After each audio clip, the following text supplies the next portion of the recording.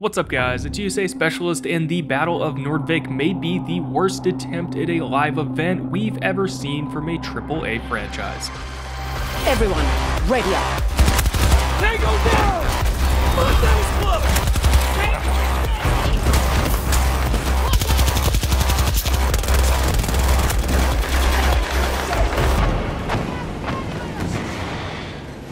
Among them, highly trained soldiers with no country left to fight for.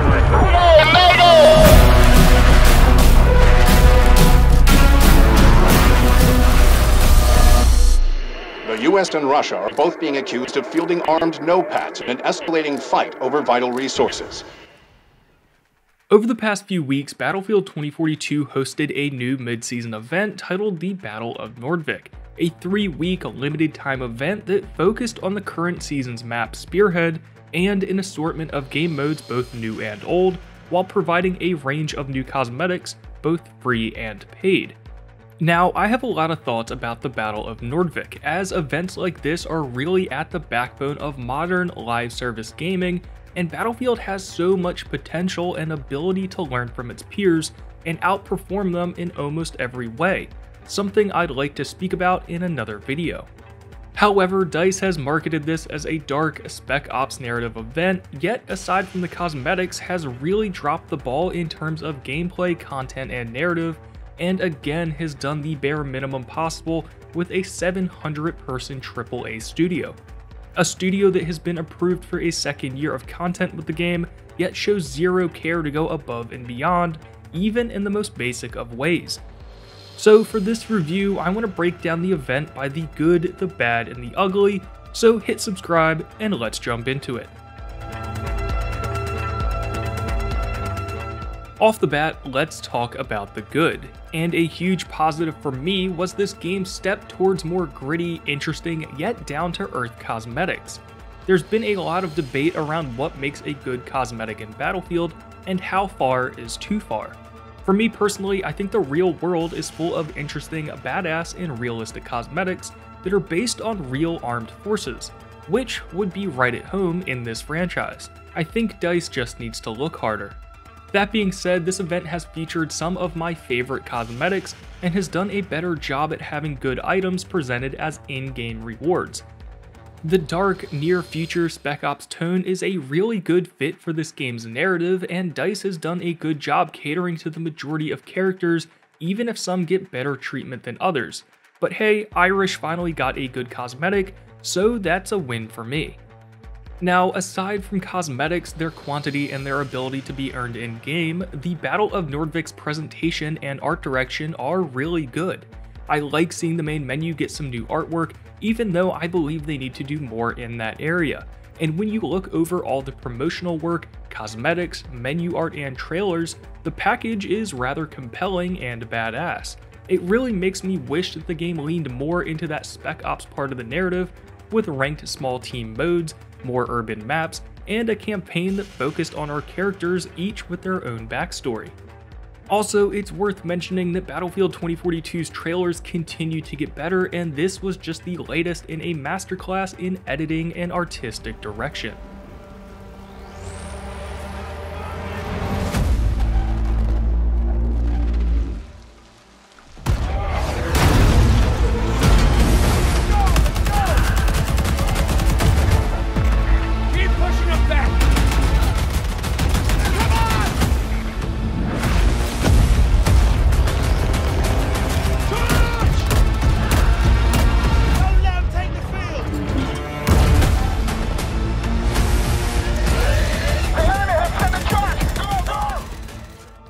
Now, finally, the concept for the Battle of Nordvik event was just fine. Three weeks, three experiences, and earnable items with a focus on Season 2 content.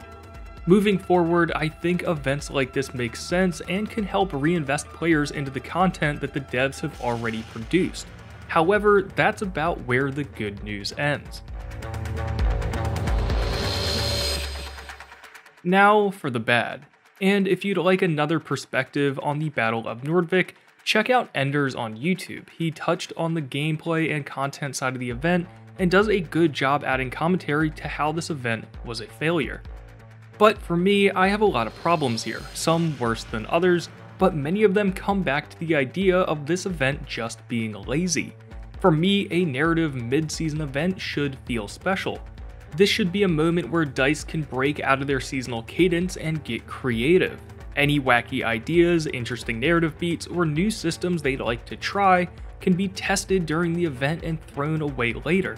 However, the Battle of Nordvik is somehow even more underwhelming than the game's core multiplayer. In all honesty, aside from the new menu artwork and three new cosmetics per week, these events are just glorified portal servers.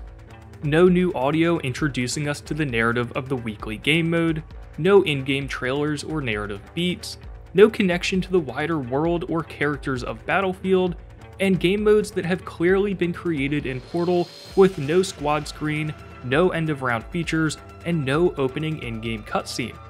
In most modes, the player is just dropped into a random, lifeless server, playing a repetitive mode on the same map week after week, with even less theatrics than the core multiplayer. And while I understand the end of round highlights and an intro cutscene don't improve the gameplay, this is the one time they make sense to have, where the dev team could get creative, add in audio at the beginning of the game, and flex the new cosmetics in front of their players.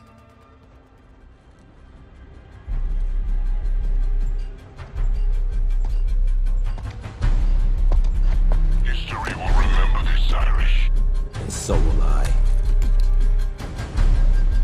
Only one way to stop this war. And that's to get in the middle of it. Put a call out to any no-pat who will listen. 36 hours to door. Get ready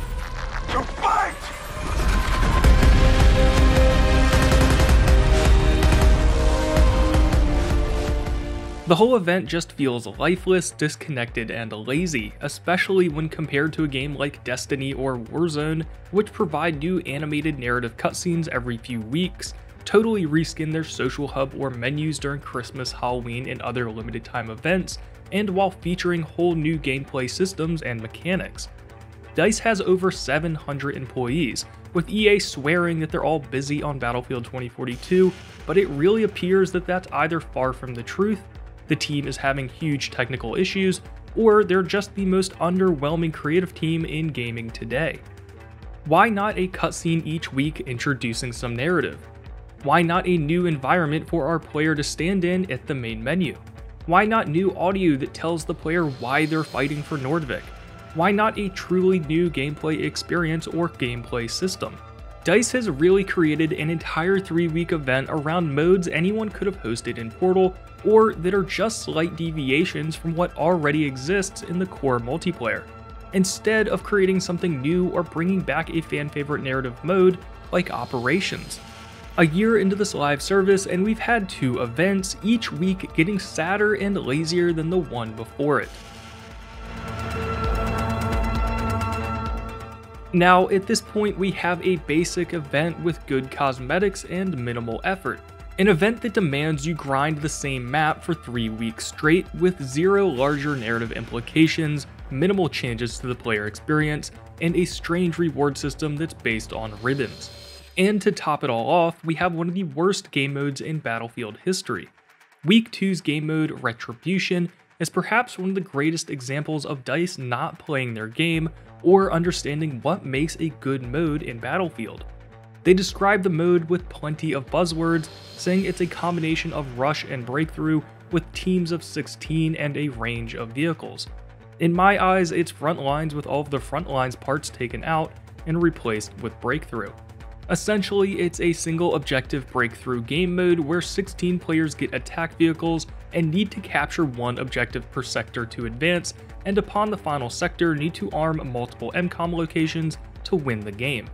However, the opposing team gets support vehicles like the MAV and have nearly full range the map at all times because the play area is essentially 64 player breakthrough but without kill boundaries in the spawns, one objective per sector and only 32 players in total.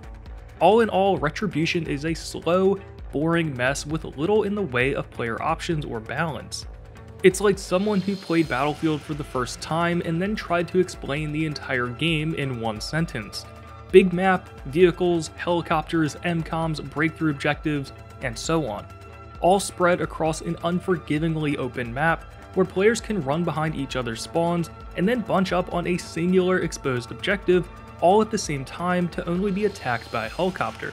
There's nothing tactical about this mode, nor does it commit to the large-scale sandbox that real modes like Breakthrough and Conquest balance across multiple objectives. It's messy, barren, frustrating, and mismatched, trying to appeal to small team tactical players while instead putting them all in an open field with an attack chopper. Now, while Retribution is terrible, other modes like Conquest Assault and Breakthrough Chaos have made a return. And while Conquest Assault is pretty boring, Breakthrough Chaos really shows everything wrong with putting 128 players into an open field. The breakthrough servers are laggy for many, and attacking in this mode is horrible. It's a meat grinder of dozens and dozens of players and at best becomes an XP farm for the defenders again on the same map. The gameplay offerings of this event, an event a year in the making, are horrible. It does as little as possible to feel like Battlefield, invoke its sandbox, or add anything new to the gameplay experience. At best, it's a combination of fresh modes that are here for a few weeks to hand out good looking free cosmetics, and at worst, it's a repetitive, poorly crafted, and lazy attempt to change the player experience where players are forced to grind a singular new piece of content in the form of Spearhead, playing three game types that range from boring to irritating. All in all, it added some new good content in the form of cosmetics, but did so in the most boring way possible. A grindy, three week event, single map playlist that's designed to create FOMO and get players to purchase limited time cosmetics while the dev team takes their holiday break. But guys, tell me what you think and drop your comments below. Like I said, I want to talk about Battlefield's live events in another video, so stay tuned and subscribe, and as always, thank you guys for watching.